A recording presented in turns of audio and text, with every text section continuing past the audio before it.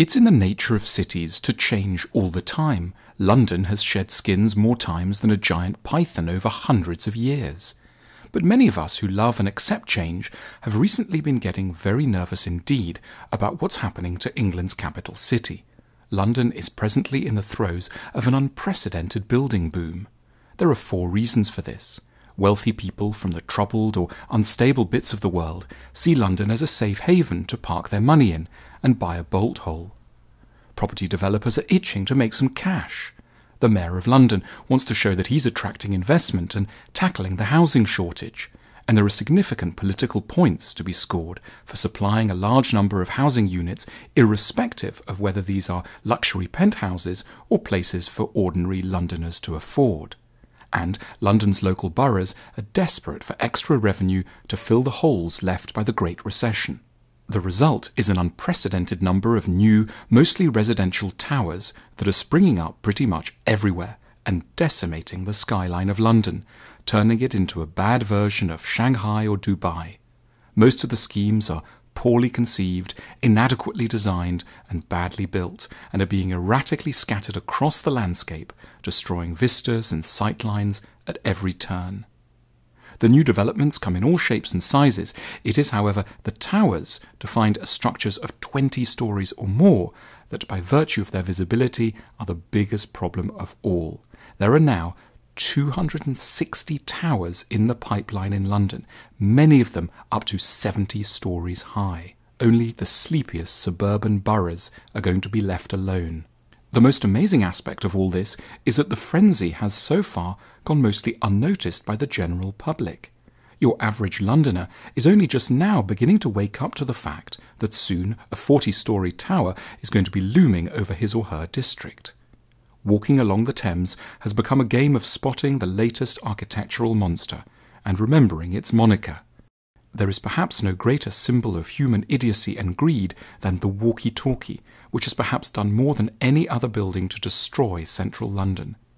It's a peculiar quirk of our time that the developers responsible, Land Securities and the Canary Wharf Group, together with the architect Rafael Viñoly, should be walking free, and that our society places more energy locking up a shoplifter than a group of people who've committed a major and lasting crime against beauty. Much the same holds true for the near criminals responsible for the shard.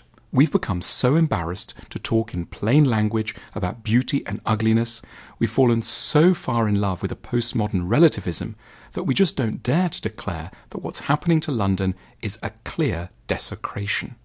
London is emulating Shanghai, Dubai, Hong Kong, and Singapore in a highly misguided search for the tallest and most fun building.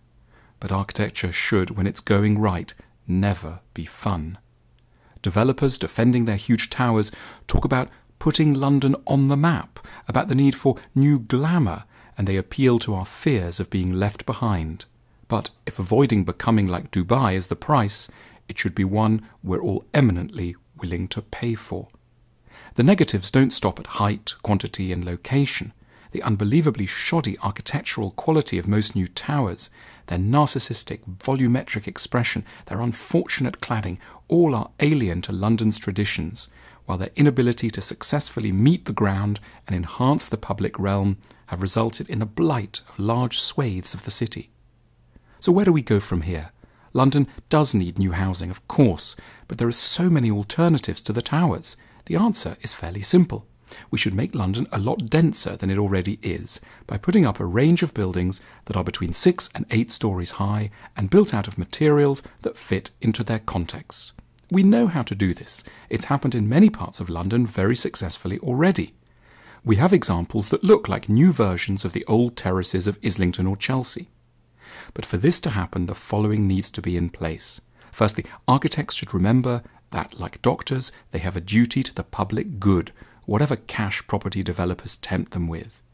Then the mayor's office needs to realize that the creation of beauty is a vital economic imperative and that future generations will damn them for what they are doing currently. And lastly, planning departments should gird themselves to be firmer with vested financial interests and stand up for all Londoners.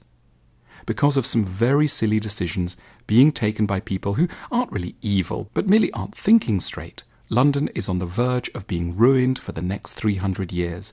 It's almost too late, but not quite, if we can turn outrage into action. This is a start.